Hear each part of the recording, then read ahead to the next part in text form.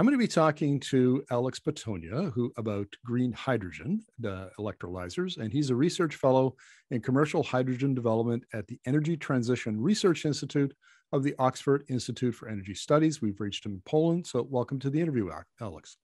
Thank you very much for having me. I'm very pleased to be here. Let's start with the basics. How do green hydrogen electrolyzers work? Well, uh, they just, uh, in principle, they were work in a very simple way. They split water into oxygen and hydrogen. The technicalities uh, become more difficult when it comes to specific technologies. So in principle, they just split water into oxygen and hydrogen. And what kind of, I, I, I looked at your study and there are actually a lot more electrolyzers, types of electrolyzers than I uh, imagined. So what are the main types of electrolyzers? Uh, well, we looked at most of the currently considered technologies, but we focused on the four main types that are currently being uh, that, that, are currently believed to be uh, applicable to the green uh, net zero future. So we look at alkaline electrolyzers, PEM electrolyzers, AEM electrolyzers, and solid oxide electrolyzers. They're quite different in terms of how they work, but they are all uh, very much relevant to what we are discussing in terms of um, transitioning to a better future.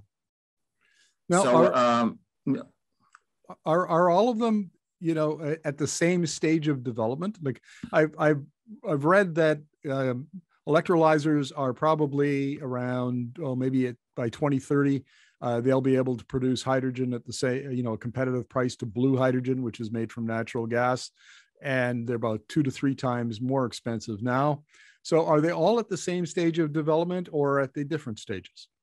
And unfortunately not. They're, they're not at the same stage of development. Elect- electrolyzers are not really new, but none of them are really uh, old. So alkaline electrolyzers have been around for over a century or around a century. So they've been used for a long time and they, we know what it is. And uh, Unfortunately, those electrolyzers are not very much compatible with intermittent renewables. And by saying intermittent, I mean wind and solar, uh, first and foremost, because you cannot really produce electricity using sun 24 hours a day unless you live in the Arctic. And, and that then you will face the Arctic winter when you won't have any sunlight, right? So um, alkaline electrolyzers are not very suitable for that. PEM electrolyzers, uh, that's the next uh, technology that has already been commercialized is more suitable for that.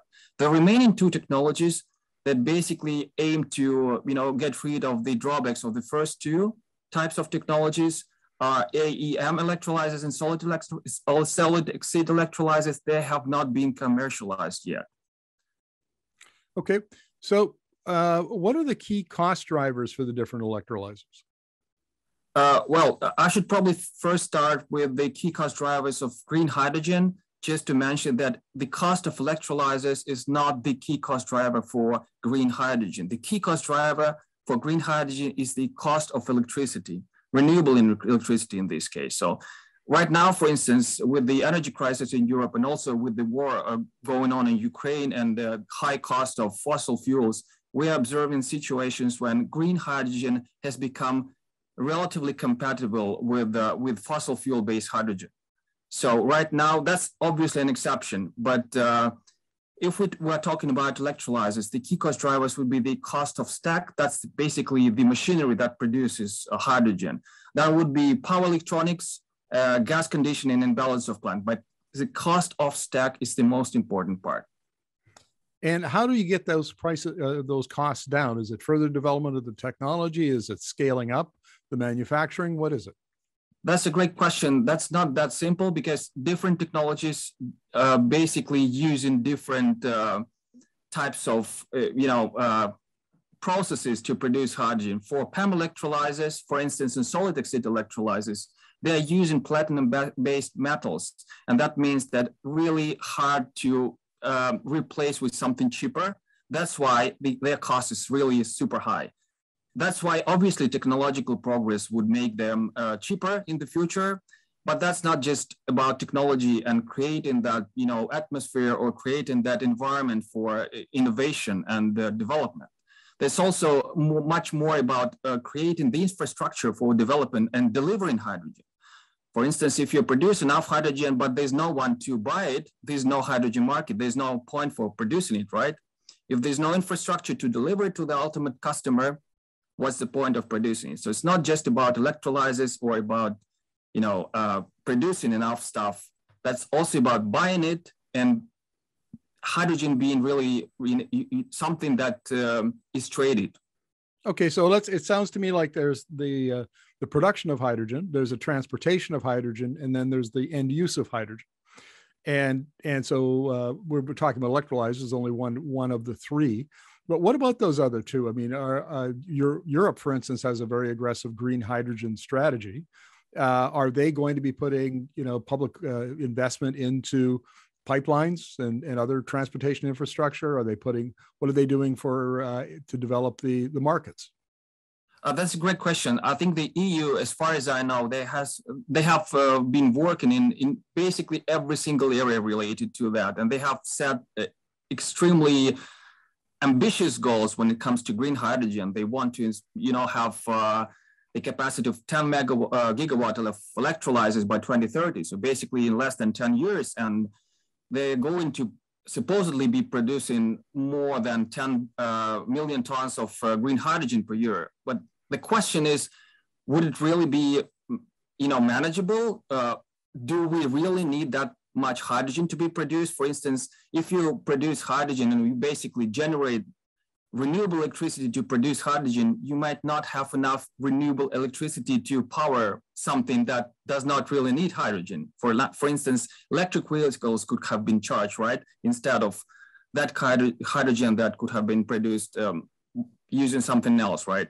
So it's a very complex issue and I wouldn't just, you know, specifically uh, focus on, on, on just hydrogen. I think hydrogen should be viewed as one of the elements in a greater um, decarbonization picture. So uh, to use your uh, as an example, Alex, uh, I mean, I've off, I've wondered this myself. You know, uh, it takes electricity, and and so you're going to lose some of that the efficiency. Uh, you're going to lose some of that electricity that you use in the electrolyzer through inefficiencies. And where where would be the the advantage uh, if you just use the electricity itself to power, you know, your heat pumps or your electric vehicles or your electric arc furnaces or or whatever it is. Now I understand because we see this in Canada. There's a discussion about using hydrogen as a means of storing energy for when you know the wind doesn't blow and the sun doesn't shine. In in Western Canada, it's in salt caverns, and there's other means of storing it. So is that kind of what might drive this? Is that hydrogen becomes a a storage medium for uh, intermittent uh, renewables?